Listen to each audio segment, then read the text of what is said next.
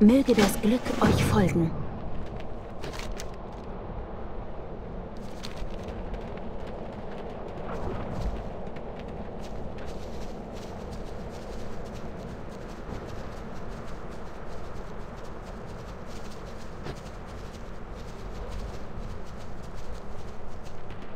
Disziplin ist der einzige Weg.